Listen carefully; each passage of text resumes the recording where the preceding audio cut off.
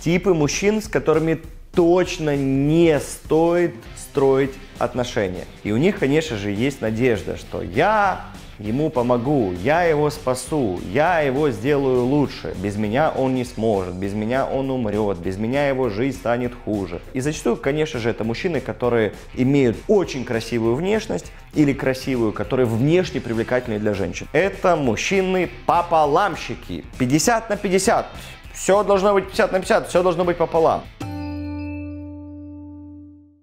Привет, меня зовут Ярослав Самойлов, я дипломированный психолог. И прежде чем мы перейдем к этому видео, прямо сейчас ставьте лайк, подписывайтесь на канал, ставьте колокольчик и обязательно смотрите это видео до конца. Итак, первый тип мужчин, которых стоит избегать, с которыми не стоит строить отношения, это зависимые, алкозависимые, наркозависимые игрозависимые. То есть это те мужчины, которые много времени посвящают чему-то, какой-то вредной привычке, тем самым они спасаются от какой-то внутренней боли, от какой-то внутренней пустоты. И обычно э, женщины, которым нравятся такие мужчины, это женщины с синдромом спасательницы или женщины, которые в отношениях с мужчинами проявляются как мамы сверху вниз, которые испытывают жалость, к мужчинам. И у них, конечно же, есть надежда, что я ему помогу, я его спасу, я его сделаю лучше. И им кажется, что без меня этот мужчина не справится, без меня он не сможет, без меня он умрет, без меня его жизнь станет хуже. Именно поэтому такие партнеры притягиваются. Но моя рекомендация стоит избегать таких мужчин, если вы заранее на первых свиданиях понимаете, что у этого мужчины есть зависимости, либо даже уже на каких-то первых этапах отношений. Знаете, что это очень сложно изменить, если этого не хочет сам человек.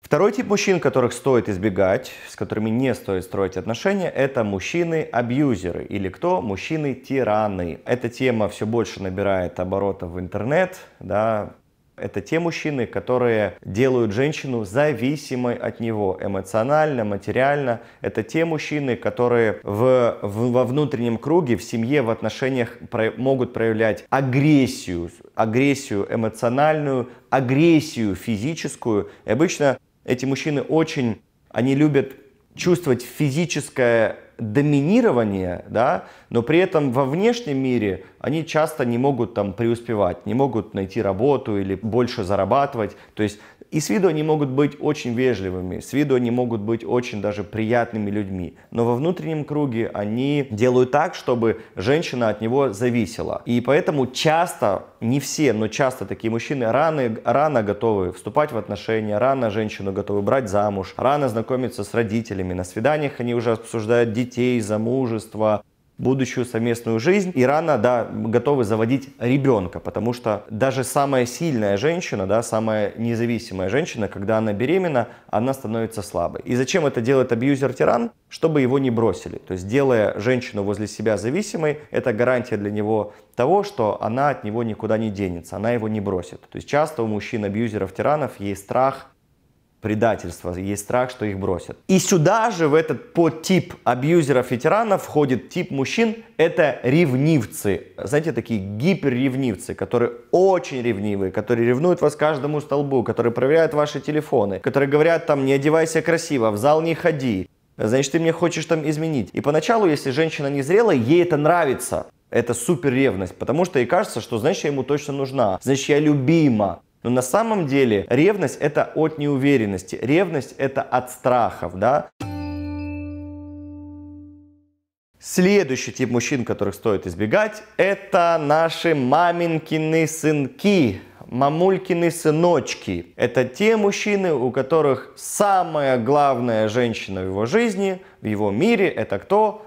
Мама, это мамулечка. И у него могут быть уже дети от, от жены, у него может быть своя семья. Но все равно слово мамы закон. Мама это номер один. И я не говорю что не нужно маму любить или о ней нужно забывать. Но когда взрослый мужчина ставит маму на первое место, будучи уже в семье или будучи в отношениях с женщиной, да, то это признак нездоровости, это признак того, что мужчина не повзрослел, это признак того, что мужчина не сепарировался от мамы. И, конечно же, в большинстве случаев это не потому, что он плохой, а потому что, ну, так мама воспитала, так мама создала эту взаимосвязь, чтобы сын чувствовал себя виноватым, чтобы он чувствовал себя должным, чтобы он чувствовал стыд, вину и долг перед мамой. И поэтому, с одной стороны, да, важно, чтобы у мужчины были нормальные отношения с родителями, нормальные, но при этом не нужно путать гиперлюбовь и тесную связь мамы и мужчины с нормальной любовью. Нормальная любовь это когда мать не вызывает чувство вины, не вызывает чувство долга. Это когда мать живет своей жизнью и отпустила своего сына в его взрослую жизнь. Дети пришли в эту жизнь не для того, чтобы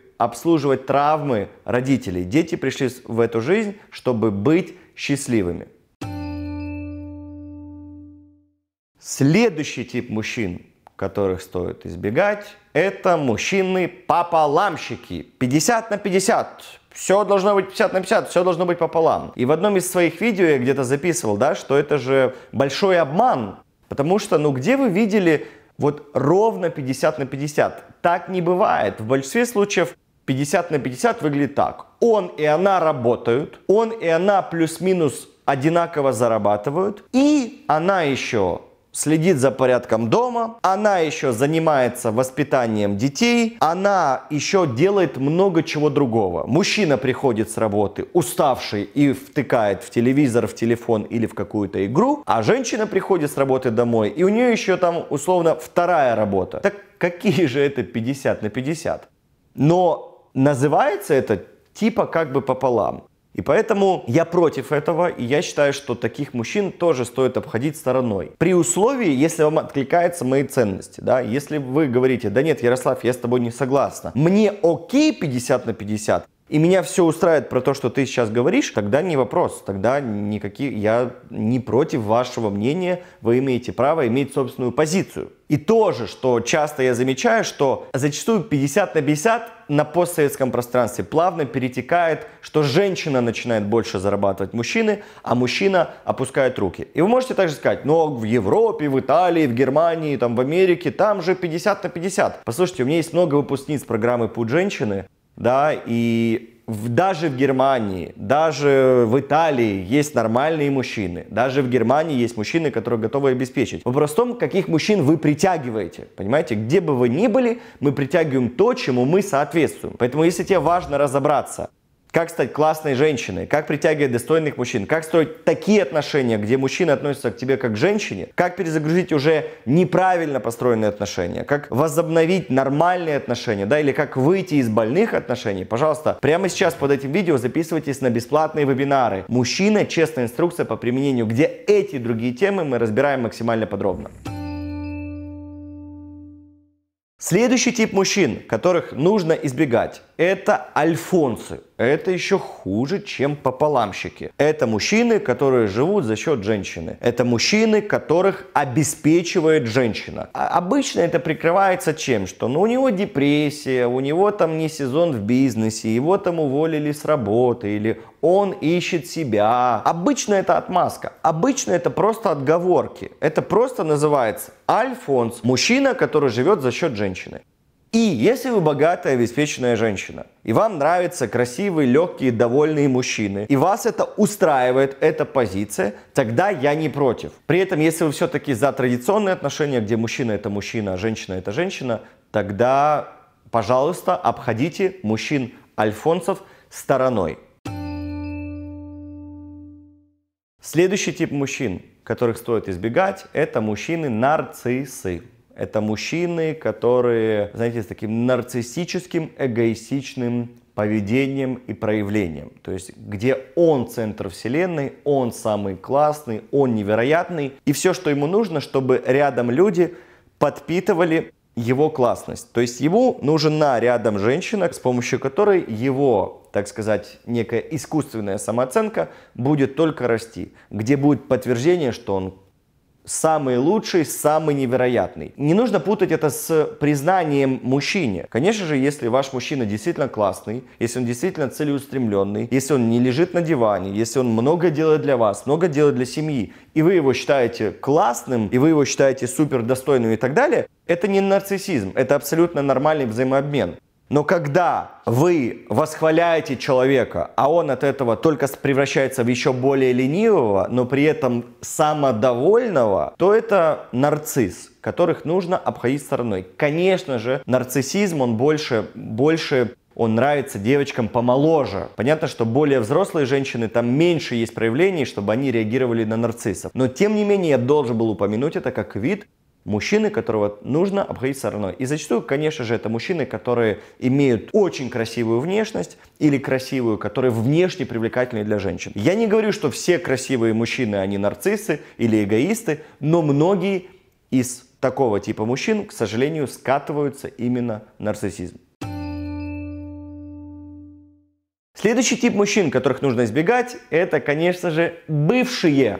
Бывший мужчина. Вы очень любите возвращаться к бывшим. Вы очень любите по 25 раз входить в одну и ту же воду, наступать на одни и те же грабли. И я согласен, есть исключения. Я согласен, что есть исключения, когда люди сходятся, что-то там меняется у них, и они переходят на новый этап отношений. Но давайте по-честному, какая статистика, когда женщина сходится с бывшим, и там наступает какое-то второе дыхание, что-то по-другому? Зачастую, если вам хочется возвращаться к бывшему, или вы даете шанс бывшему, значит вы надеетесь на то, что он изменился. Но поймите, что если вы сами не меняетесь, то и партнер тоже вряд ли изменится. И поэтому очень часто, что возобновление отношений с бывшими, оно выглядит так, что все то же самое, только еще хуже. Поэтому, если вы хотите сойти с бывшим, задайте себе вопрос, а если вокруг меня сейчас были достойные классные мужчины? Мне бы хотелось с бывшим что-то пробовать, мне бы хотелось думать о бывшем, бывшим. Мне бы хотелось давать десятый шанс бывшему. И да, я уже слышу здесь оправдание. Не, ну а если у нас общие дети? Не, ну а если дети по нему скучают? Это зачастую оправдание. Безусловно, дети скучают по папе. Безусловно, хорошо бы, если была бы семья милая, гармоничная и счастливая. Но послушайте, если бы она такого, таковой была, вряд ли вы бы вы сходились. Но при условии, если вы понимаете, я проделала большую работу над собой как женщина. Я там проработала травмы, я там разобралась в психологии отношений. Я чувствую себя реально сейчас другим человеком, да, выше уровня. И я сейчас понимаю четко, что мы можем попробовать, и, возможно, из этого что-то получится. Тогда это другой подход. Но большинство сходится с бывшими, не меняя себя, а просто надеясь, что оно каким-то чудом само все образуется, потому что мы вместе там что-то поняли, потому что мы соскучились, потому что у нас давно не было секса. Если для вас важно разобрать такие темы, как перезагрузить непонятные отношения, как привлекать достойных мужчин и сделать правильный выбор, как создавать классные, достойные, счастливые отношения, как выйти из недостойных отношений, где найти в себе эти силы и стоит ли выходить из недостойных отношений. Прямо сейчас под этим видео записывайтесь на бесплатные вебинары, где эти другие темы мы будем разбирать максимально подробно. Если это видео было полезно, прямо сейчас ставьте лайк, подписывайтесь на канал, жмите колокольчик и поделитесь в комментариях, как вам это видео и все ли типы мужчин я упомянул или, возможно, я кого-то забыл.